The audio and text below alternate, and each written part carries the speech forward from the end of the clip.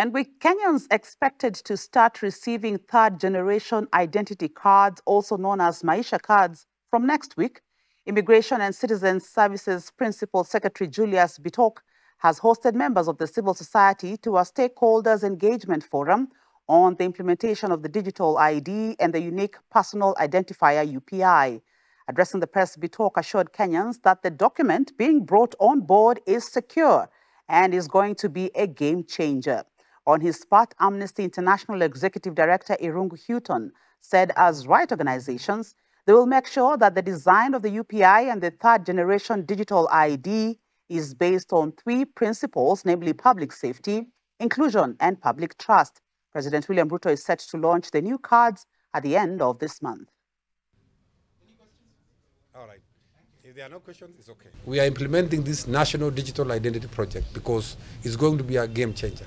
Because through national digital identity, the government will, will guarantee Kenyan people of the security of the documents because we are going to have a system which is foolproof that's going to ensure that whatever document you have is authentic and that whatever you want to transact with, whatever you want to go to the hospital with it, every institution, whether it is banks, whether it's hospitals, whether it's educational institutions, you have a document that is able to reflect who you are and is also clear and is also accurate in as far as identity is concerned.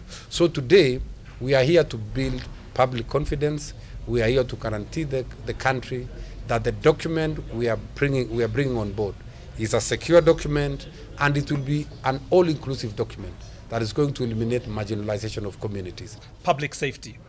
Um, ensuring that data protection, that your privacy as Kenyans is protected by design, not by, not by accident, but by design.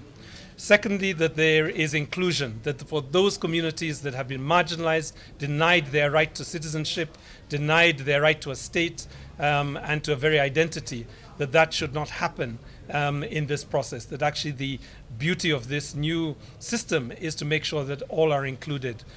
The third area relates um, to the issue of public trust. One of the challenges we have generally in this country is trust and making sure that Kenyans are comfortable, they understand, they are aware of the implications and the opportunities of becoming digital citizens.